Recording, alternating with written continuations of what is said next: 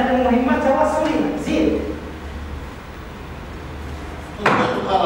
غنهضروا على مهمه واحدة أخرى هي مهمة إدارية. لا باقة سميتو هذا هو الشيخور المهني محترف مهام السائق أربعة الدورة التكوينية اللي نقدموها لفائدة السائقين المهنيين آه، بالفعل هذه اولا الدورة التكوينية كتجي في إطار استئناف البرنامج والنشاط ديال الاتحاد الإفريقي لمنظمة النقل واللوجستيك بعد تقريبا سنة ونصف أو سنتين.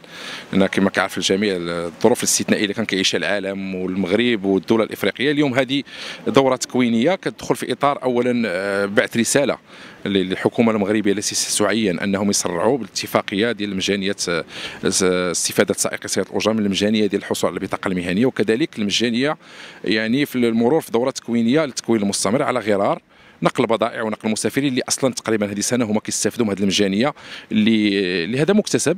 حصلوا عليه المهنيين في المغرب يعني بعد بعد نضال طويل. اذا اليوم إحنا مقبلين على مشروع كبير وضخم. داخل المملكة المغربية هو تعميم الحماية الاجتماعية والتغطية الصحية على كل الفئات النشطة من يعني من المجتمع. والفئات الفئة ديال السائقين المهنيين لسياره الاجره هي فئة كبيرة وواسعة وهي المعنية اولا آه، من ضمن الفئات النشطة بهذا الموضوع ديال التغطية الصحية والتغطية الاجتماعية والاستفادة من كل خدمات الصندوق الوطني للضمان الاجتماعي كما جاء في المشروع ديال الدولة المغربية وفي المشروع الملكي ان صح التعبير اذا هذه البطاقه المهنية هي التي ستخول لهم الانخراط.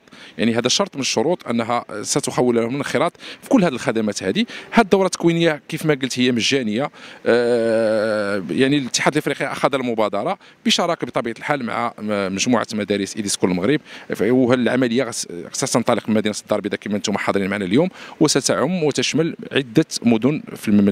على أساس أن هذه الدورة التكوينية حنا مبرمجين على انها يعني تبقى مستمرة وفي مجالات أخرى لأن ما كاينش غير التكوين من أجل الحصول على البطاقة ولكن كاين التكوين وكاين المواكبة النفسية. لكل يوم كيعرف بأن الظروف اللي كيشتغلوا فيها السائقين المهنيين حالات الحجر الصحي اللي مر- مرينا منها الظروف النفسية اللي كيعيشوها كل جل المواطنين هي كتنعكس يعني سلبا بواحد الدرجة كبيرة على السائقين المهنيين في كل الفئات وحنا سطرنا برنامج على أساس أن التكوين والتكوين المستمر والمواكبة ديال هذا العنصر البشري اللي مهم ومهم جدا ستكون ضمن اولوياتنا اولوياتنا عفوا داخل الاتحاد الأفريقي لمنظمه النقل واللوجستيك خصوصا اذا تكلمنا على الفرع ديال المغرب واليوم الرئاسة هي في المغرب ولا بد أن هاد هاد كل هاد البرامج يستفدوا منها السائقين المهنيين في المغرب. على أساس التعميم ديالها مستقبلا إن شاء الله الرحمن الرحيم في بعض الدول الإفريقية.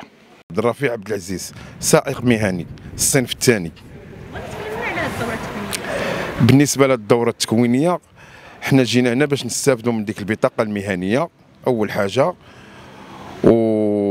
ونستافدوا حتى من آه، الضمان الاجتماعي وحنا جينا هنا بالنسبة للإخوان هنا اللي كي يشرحوا لنا المسائل ديال القانون.